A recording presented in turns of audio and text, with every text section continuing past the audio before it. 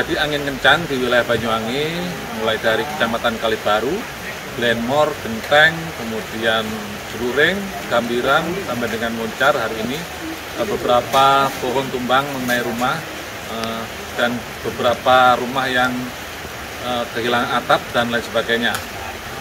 Terjadi mulai sore tadi sampai hari ini masih dilakukan penanganan.